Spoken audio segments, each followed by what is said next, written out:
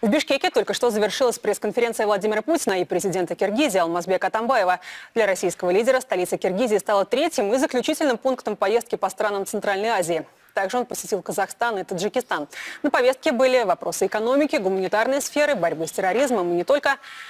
На прямую связь со студией выходит наш корреспондент Михаил Акинченко. Он работает в Бишкеке. Михаил, ждем от вас подробностей. Каким темам было уделено особое внимание на пресс-конференции? Да, добрый день. Ну, как вы правильно сказали, Екатерина, уже к этому часу переговоры между президентами России и Киргизии уже завершились. Напомню, что официальный визит Владимира Путина э, в Бишкек был приурочен к 25-летнему юбилею установления дипломатических отношений между нашими государствами. Но главной темой переговоров, конечно же, стала экономика.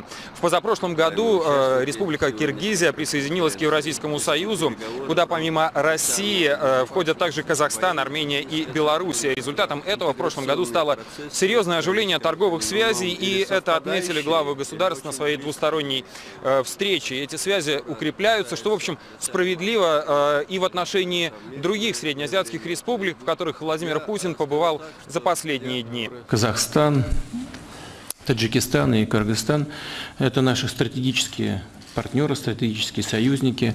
Э, во всех этих странах э, Россия занимает первое место по уровню э, торгового оборота. И несмотря на все сложности текущего дня, экономического характера, эта позиция за Россией остается. Я уже говорил о, о том, насколько, мы, насколько эффективно функционируют наши структуры э, в сфере э, Евразийского экономического союза. И лучшее подтверждение тому э, рост экономики и промышленного производства в этих странах. Все эти государства являются членами Организации коллективной безопасности ОДКБ. Мы на этой площадке будем дальше согласовывать наши совместные действия и предпринимать необходимые усилия. Но и вот в ходе этого визита мы говорили об этом очень подробно и обстоятельно. Ну, э, как вы слышали, Владимир Путин э, напомнил о том, что наши государства сотрудничают и в рамках Организации договора о коллективной безопасности. И о безопасности тоже шла речь на сегодняшней э, встрече президентов России и Киргизии.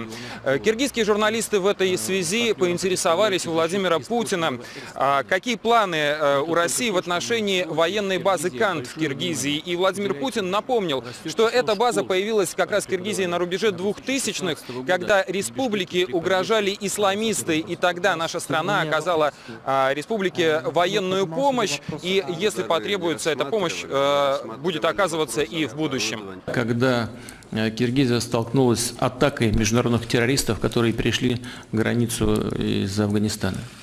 И тогда меня, вот меня лично, действующее руководство Киргизии попросило э, срочно разместить военный контингент, прежде всего авиацию для того, чтобы была возможность эффективно бороться с террористической угрозой. А, как вы помните, там а, были и трагические события, люди погибли. Если когда-то Кыргызстан станет, что скажет, что мы укрепили настолько свои вооруженные силы, что такая база не нужна, мы в этот же день уйдем. Нам нет никакой необходимости здесь размещать контингент воинский. Он связан только с одним – с обеспечением безопасности самой Киргизии.